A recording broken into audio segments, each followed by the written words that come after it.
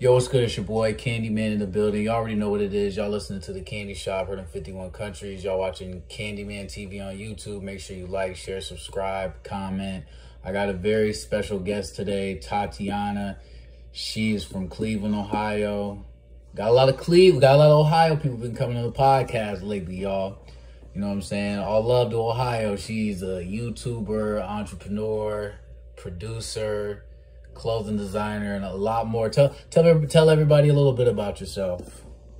Hi everybody, I'm Tatiyana. I'm 19 years old. I am from Cleveland. I moved to Canton, Ohio when I was about 12 years old. And I actually did transition back to Cleveland for a little bit, and then I ended up moving back here when I got my first apartment. So I am getting a little adjusted here. I've been here for about a month now, and it's okay. Just learning to take responsibility as an adult and as a woman. So it's been a little challenging, but it's been good overall. I am a YouTuber, so definitely subscribe to my channel and also subscribe to his channel as well and show him some support. Um, I do make clothing. I just started um, about a couple weeks ago. I am still learning some things, and um, yeah, it's, it's a little challenging making clothes uh, especially from scratch. I did actually just make a piece um, out of a dress. I turned into a two piece set. So it was it was fun. Um, I do plan on making a lot more pieces and selling pieces custom made by me always. And I actually just started producing not that long ago either.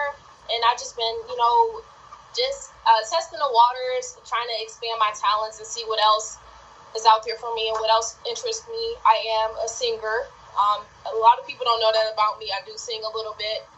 Um, yeah, I've just been trying to expand my talents a little bit more, and um, yeah, that's pretty much it about me so far. Okay, okay, yeah, man. Multiple talented, you know what I'm saying? You're diverse, got a lot going on. What what did you get into making clothes before the music or how did how did how did that go about? making clothing, it um it kind of came to me um, because of COVID and stuff, and a lot of places were shut down. And I just I love fashion. I'm really into um, vintage, um, like vintage clothing. You know, styles from you know the, the 60s, the 70s, 80s, the 90s. Early 2000s, I really just love like fabric and anything that's you know, that's just beautiful and that looks nice to the touch. Um, and producing, I really wanted to start producing music because this girl had asked me if I could um, produce her song. And um, I was like, I have no experience in producing whatsoever, but I do have a little bit of experience um, in broadcasting. I did actually go to a broadcasting school for a little bit, but I ended up dropping out because I was like, I'm not sure if this is what I want to do anymore. So I did um, take a break from that, but I had got back into it because I'm like, this is where my passion is. This is where my heart is, and this is what I want to do. So the producing thing came in for me because I love music. I love all types of music, um, from R&B, jazz, blues, um, anything that has a really good sound to it, and definitely has a lot, a lot of meaning to it, especially because I don't like listening to music that just doesn't have meaning to it. It's just kind of pointless to me. But um, I was just kind of like, you know, testing some beats and seeing what, you know, caught my attention. And I'm really into like old school type of beats um, from like LA, like, you know, the East Coast, West Coast, that type. I was like, yeah, like, I, I this is what I want to do. And I, I'm still learning and stuff. Um, and I think what kind of set me apart from most producers is that I'm a woman and I don't really see too many um, female producers? Like, do you know any female producers? I I don't know too many, but I know a few, but I don't know that many, honestly. Yeah, and that's what kind of made me want to change the game a little bit because I'm like, well, I don't know too many um, female, especially black female um, producers. So I kind of wanted to um, give people an insight of like, wow, like this is interesting. Like I want to see what this girl has to offer. So yeah, just you know, just seeing what's out there for me and seeing what interests me, and that's definitely music. Music has always been my thing. Um, I used to be in a choir in um, middle school and high school, and I used to be in a church choir. Um, rapping wasn't my thing. A lot of people ask me, "Do I rap?" I'm like, "Nah, I don't. I'm not a rapper, but I do sing and stuff." So, um, yeah, like music is my heart. Like I love music. Um, I can dance a little bit. I used to be a part of a dance team when I was living in Cleveland. Um, it was like something small and local, but it was still something that I did, and um, it really just caught my interest in just music and um, just anything that has to do with art. I feel like music is definitely an art, and um, I don't see myself being an artist, but I do see myself helping other artists out, and that's what I want to do. Okay. Have you? Uh, who, who is your who? We can go back to fashion real quick. Who is? Do you have any like influences that influenced you to do fashion, or is it just you just love all type of generations of fashion? Is it just the generations, or the or is it a specific person or people? Um, I don't really have a specific. I just I just know that I look at all different types of fashion. I don't really just limit myself to one person or group of people.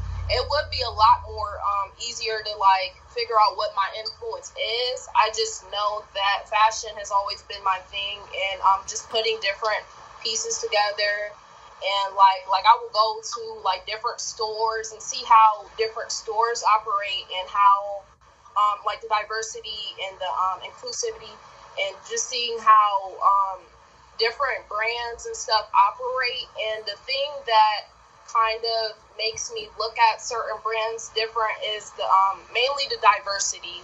Because um, mainly growing up, I used to see a lot of um, a lot of white, mainly white companies you know, promoting white women, and I'm just like, where's the diverse? And I'm like, well, you know, like where, where's you know where's the black women? Like where's you know just different, you know, people and stuff like that. And um, nowadays, a lot more brands are starting to get a lot more diverse and um, you know promoting black women and stuff because like you know, back in like the, the 50s or 60s when black women wanted to do certain things, they were told no.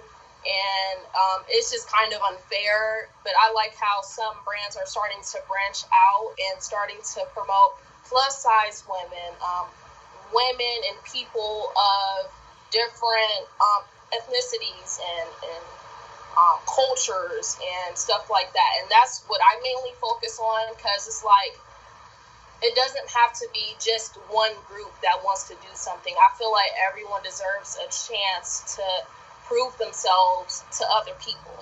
So, um, I don't really like have a specific, but um, yeah, I just mainly focus on everything. I, I'm more of a visual, so it's like I have to see what another brand is doing, and I can kind of give my feedback of that company or brand and Okay. Now, because I, when I was on your Instagram, I figured you model too because you're very you dress you dress you should always be fly. I see, you know, what I'm saying you dress Thank real you. nice. And have you ever have you ever thought about modeling too as well, or does that ever come? Yeah, I actually was looking into it not that long ago, and um, I was actually on a Zoom call.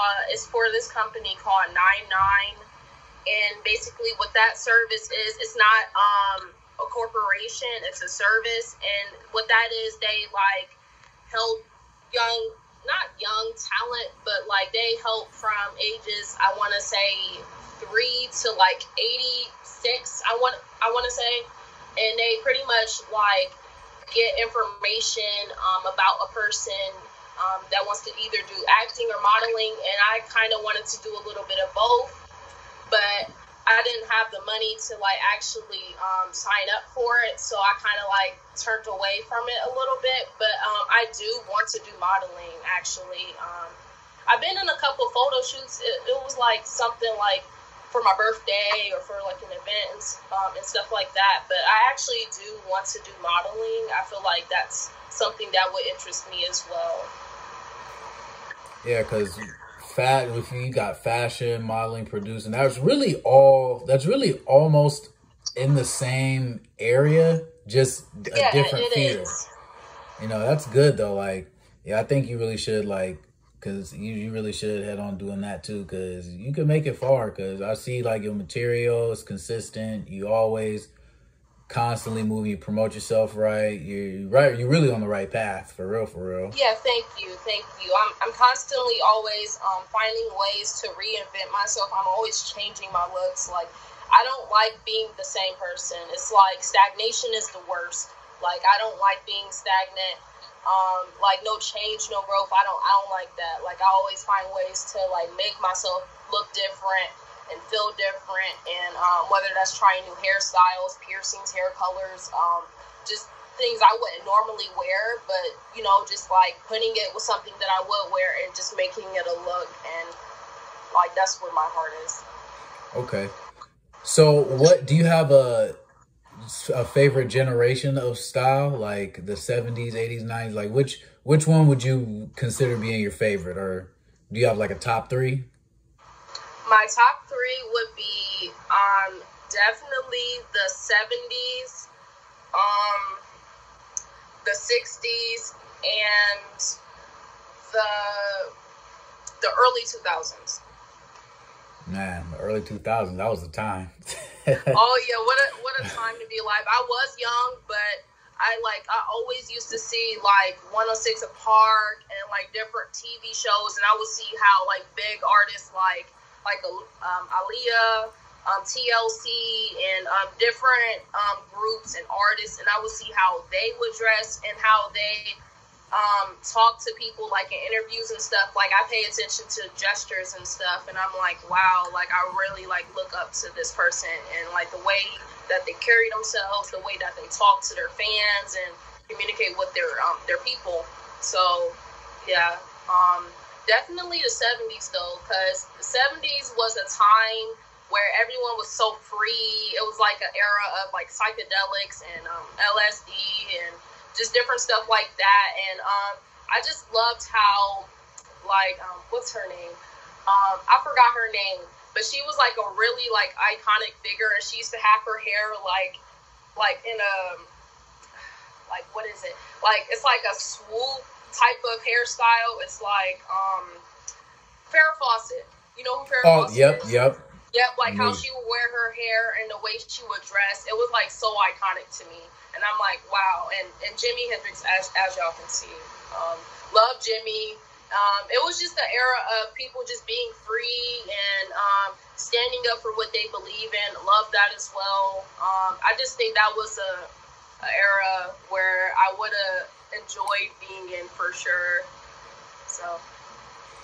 Okay. And now, but now back to producing. Uh, what what's your what's your style of producing? Like, what what do you what what what kind of um, genre would you mostly be producing in? You said the genre? Yeah, like what genre would you?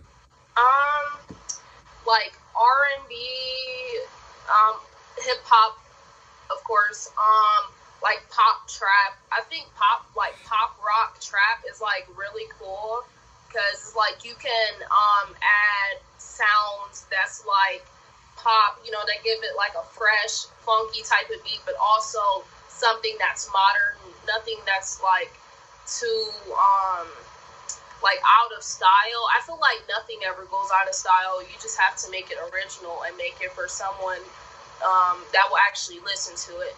So definitely um, R&B, um, hip hop, jazz, definitely jazz. Um, I love um, like the, the saxophones. Um, saxophones are like my, my favorite. I, I love saxophones and I love like trumpets and stuff.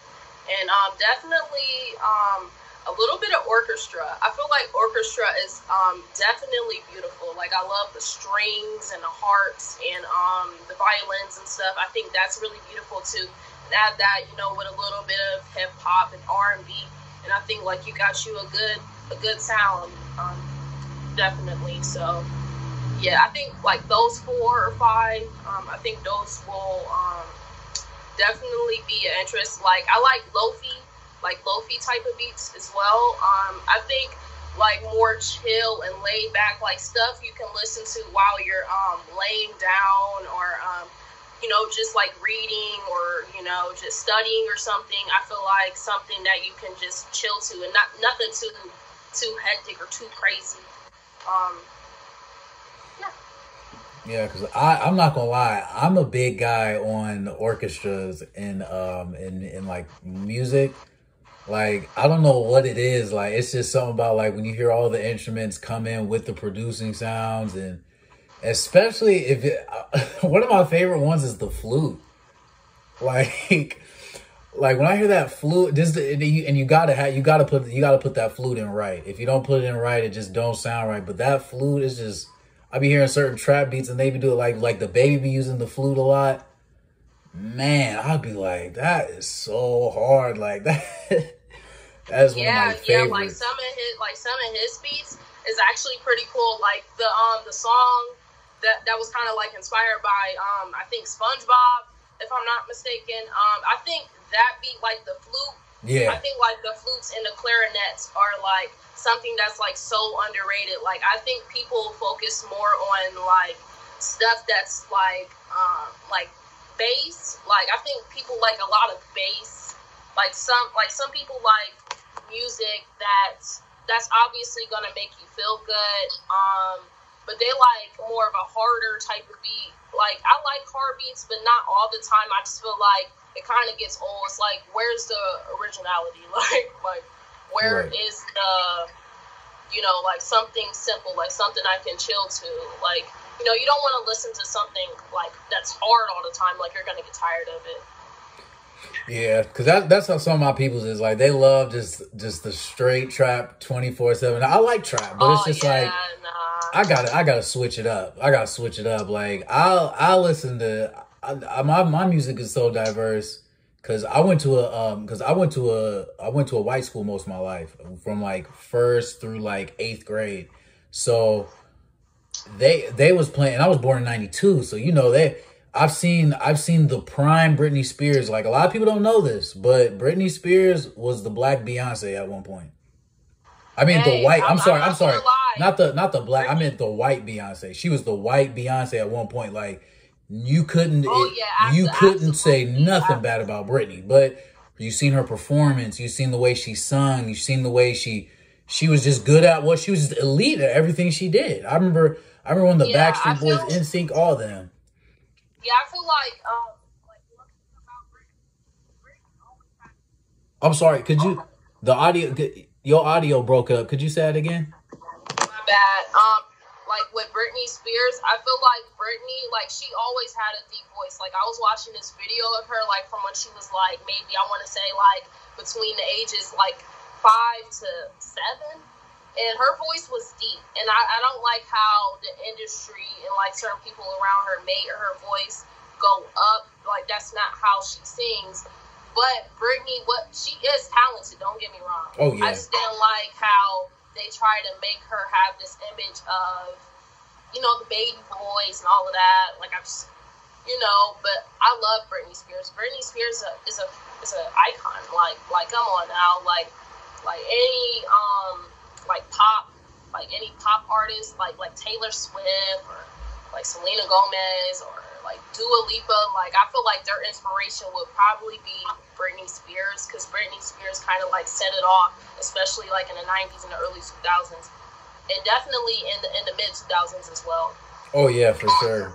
Like free Britney Spears, by the way. Yeah, free Britney. Yeah, she she deserves so much better. Big fact. Yeah. So have you um have you ever? Because oh, I remember you was talking about you wanted to leave Ohio because I don't blame you because there's a lot more to life. Have you traveled a lot and seen uh, different type of places that you think you might want to go to? Um, I haven't really traveled a lot because mainly of like financial issues and stuff. Like I was homeless for a little bit, so I couldn't do what I wanted to do, and um, it was just kind of really tough. But um, I have actually went to little bit like I've been to New York. I haven't been to New York City. I've always wanted to go to New York City because that's like the state of fashion. Like that's where um, a lot of the modeling agencies and um, just a lot of different like fashion shows and stuff. Like that's where that is. So I would love to go to New York City and like just see how they work and um, you know possibly be a part of something that's there Um, I've always wanted to go to um, Cali, Cali too. Cali is a good place, especially like for networking as well. But when I was in Cleveland, I was there for about like almost two months, and um, my dad was kind of strict. He kind of like told me I couldn't do the things I want to. Mind you, I'm 19 years old. So, um, kind of being told what to do, like I'm my own person. Like I, am just, I'm so original and, and just um, so genuine, and I'm a free spirit at heart. So I don't like being told what to do, um, and that's why I'm self-employed because it's like I, I can't take no crap from bigger companies and bigger, you know, stuff like that. Like I can't work for someone else's dream, and I can't deal with someone else telling me how to live. It's just, it's not me, and it's not gonna work because I'm a Taurus, and, and Tauruses are stubborn as hell. Like we don't like being told what to do. Um, I just I'm my own person. I don't. I'm just I'm, I'm original, and I don't like you know taking crap from nobody.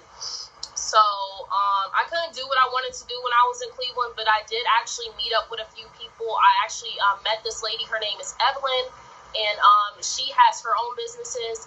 Um, it's called One Scene Productions, and um, she helps um, people plan for like projects that they want to do and stuff like that. Um, I actually did end up meeting with a few people and stuff, so it was cool and everything. I just couldn't do what I wanted to do. I kind of felt like it was like restrictions and um, it kind of upset me. But I'm like, everything happens for a reason, so I can't, you know, be mad when something isn't working on my timing because it's not about my timing. It's about the universe's timing and divine timing. So whatever will happen for me. It'll happen naturally. So I won't have to necessarily like I'll have to do a little bit like work hard for what I want, but it's like when when something is meant to come, it'll it'll come. So um yeah, just a few setbacks and, and, and distractions and stuff, but I feel like I'm slowly but surely getting to where I want to be, and that's kind of why I uh, expanded my talents because it's like I, I, want to be I want to be seen. I want exposure, and I want people to see what I have to offer. And even if I don't lightly have the the idea of how to approach people, like I know how to approach people, but it's like sometimes like my head can be all over the place, and I'm like uh, I'm nervous. But um, yeah, just yeah. Yeah, definitely. So because uh, I remember um, when you said earlier about you being homeless. I've been homeless a few times, and it, it definitely ain't no joke. Like, yeah, it's been, just not fun. Yeah, it's just crazy. Yeah, kind of like um, I was kind of like embarrassed a little bit because it's like I've been doing YouTube for a year, almost two years, and um, see, like, I had to kind of explain to YouTube, like, what was going on. Like, I was going through some issues with my mom. We weren't seeing eye to eye. Like, she would kick me out constantly. Like, I had moved out when um when I had first turned 18, and um, I was gone for like four months. And then I had moved back in with her, and then that's when stuff started hitting the fan, and I was like getting into it with her and stuff, and I couldn't do what I wanted to do. Like, I, I had invested like two hundred dollars in um, to my YouTube equipment, and that was like one of the biggest investments I made.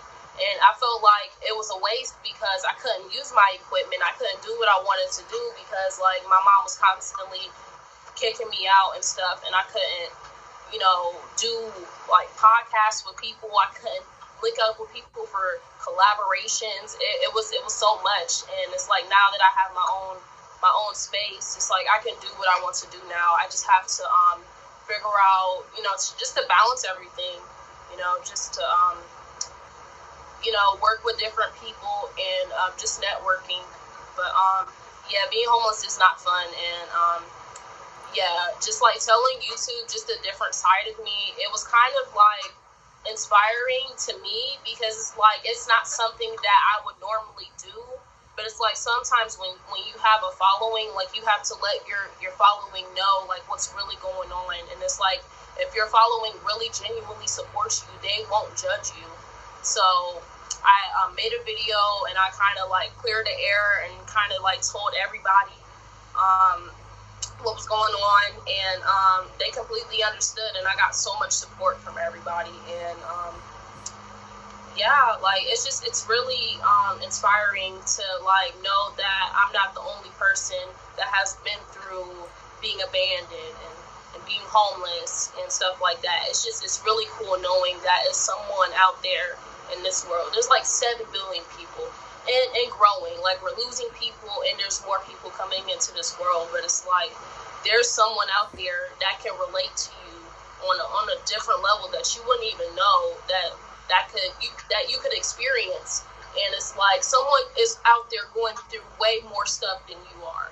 So it's like you have to humble yourself and um, just realize that it's not just you that's going through something that's hard.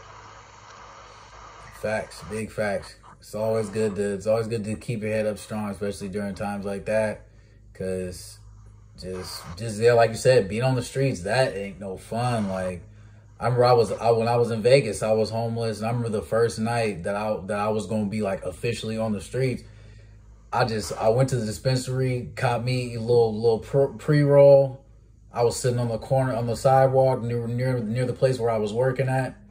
I just started smoking, and then it just hit me. I'm like, I'm really like it's it's all bad. Like I couldn't, and I put my pride aside. I even called people from home, and I knew it was bad because they couldn't even help me. So I was like, yeah, I'm just gonna have to just do my thing here till till things get better. But stay consistent, and, and you know things got better. You know, it just it was a, it was dark. It was a dark time. It was a dark, depressing time. But you know, God wouldn't put you through nothing you couldn't handle. But, yeah, for sure. Like I know when I was homeless, I wasn't homeless for like a long time, but I was homeless enough to where like I had to figure out where I was gonna go and like me, I do have family, but it's like with me doing tarot and stuff, it's like in the black community, that's seen as a threat and it's seen as evil. So, like, my mom wasn't accepting of what I did. And my, the more my mom would say certain things to other people, and I'm not bashing her, by the way. Like, it was just like the more that she made me look like this bad person, the more that she was projecting her negative energy onto me, she was making me look like I was the bad guy when really I was the victim. So um, that that's why I was homeless. Like whenever I tried to reach out to certain family members, they were like, "No, I can't help you," or like your mom like needs to know where you are. Like like I'm grown. Like I don't need no one trying to tell me what what's good for me. It's like if it's not genuine, if it's not helping me or benefiting me, it's like I don't need your opinion. So like when I try to reach out to close people, like they they ignored me. Um, so it was it was so hard. Like I tried to reach out to like homeless shelters. They told me it was nothing that they could do. Like um, I couldn't get in there unless I had a child, and I'm like, well, I don't have any kids. So that's what made it even more harder because like when you have a kid or when you have kids, that's when certain uh, different opportunities are open for you. But it's it's just me and I'm only 19. So it's like, it, was just, it's so many things that I couldn't do. And I'm just like, well, like I'm responsible. I'm trying to prove these people wrong. Like I'm trying to, you know, prove myself and let people know that I have something to give. And it just was not working. And um, I just always kept my head held up high. And it's like, it, it was it was so hard, like so freaking hard. Like I think I'm the only person that I know personally that has been through so much, but I never let it break me. Like I've always been resilient, and I've always tried to be selfless, and it it worked. And and um, it's like the more that I'm getting established, it's like I never forgot where I came from. It's like you can never forget where you come from because it's like it could be you again. So it's like you have to really take a good look at life and reality and be like, you know, like I'm not in the situation no more but I have to realize that it could be me again. So it's like you, you really have to take a good look at yourself and be like, well, I'm in a better place, but never forget. But also, don't let it hold you down and don't let it um, don't let it take over you. It's like when you let your past haunt you, your, your past is your past. It, it already happened. It's like it's nothing you can do. It's out of your control and I think that's where a lot of people tend to like fall in depressions because they're, they're like stuck on their past and stuck on stuff that that just couldn't be done. Like you know, it's like it happened already. It's it's not your fault. Some things are just happening just to happen, and sometimes it's not for us to know. But um, regardless of everything, like it, it always made me a stronger person, and um, that's what I really admire about myself. That I can always bounce back from what hurt me, and, and I never let it affect me in my future. And that's why, like, I'm doing all of these different things to to really show people what I'm worth. Yeah, I'm glad. I'm glad. See, I'm glad you you're strong minded because a lot of people they they just a lot of people just don't know the struggle for real. They, they mean, just they don't know. It's like when when when you come from certain backgrounds, it's like you're not used to certain things, and, and just certain things kind of shape you into who you are. But certain certain things isn't meant to shape you who you are. It's to build your character, and um, really, it's like you. It's like you can't grow and you can't go on to the next chapter of your life if you're constantly rereading the pages of the chapter that you're not in no more.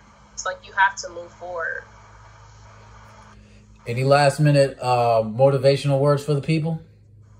Um, honestly, I feel like whatever y'all want to do, do it. Don't don't listen to what no one has to say to you. Don't listen to anyone that's telling you that you can and you telling you that you can't do something because it's like the world is yours. Anything that you want, man, like you, all you got to do is believe that you can do it. Speak positive words of affirmations and letting yourself know, like, you know, things are not looking the way that I want them to look right now, but it's like the more that I believe and the more that I keep putting in the work, like the like the sky is the limit, man. Like when when people used to say the sky is the limit, they were not lying. Like anything that you're manifesting, anything that you want, all you got to do is just believe that you can do it. Believe in yourself and believe in the, the measures. Like, no one said that this life was going to be easy, but it's like as long as you have the idea of life, it is it's constantly moving, it's constantly changing, and it's like whatever you want to do, and you're telling yourself that you can't do it. It, it, like you're, you're pretty much just pushing yourself away from what you're supposed to be doing and you're giving the opportunity to somebody else. So always work hard for what you want and, and don't forget where you come from because where you come from made you to be who you are today. Oh yeah. So um tell tell everybody your uh social medias again and your podcast too as well. My my Instagram is Tatiyana Marshell. It's T A T I Y A N A M A R S A S H E L L. My uh, my YouTube is the same name as my Instagram. No underscores, no periods, no nothing. Make sure y'all go subscribe. Um, my I just made my um, producer YouTube page. It's called um, Tati made this underscore. So it's Tati made this, and um, yeah, that's pretty much it. I do have a Facebook as well. If y'all want to go add me on my Facebook, it's the same name. Like all my social medias are the same. So make sure y'all go subscribe and also subscribe to him. He's amazing at what he does. And thank you so much for the opportunity. It, it means a lot. Well, thank you for coming on the shows. I really appreciate it. Yep, I'm gonna definitely um, share your stuff and um, subscribe. Do you have a YouTube, by the way? Yep, Candymane TV. I can send you. I can send you all my info uh, when yep, we get yep, done. Send me all your information. I'm gonna, I'm gonna shout you out and support you. Oh yeah, for sure. Thanks. Appreciate it. Yep, thank you so much. No problem. Y'all make sure y'all go ahead, check her social medias out. Make sure you like, share, subscribe. There's more episodes to come. And y'all have a wonderful day.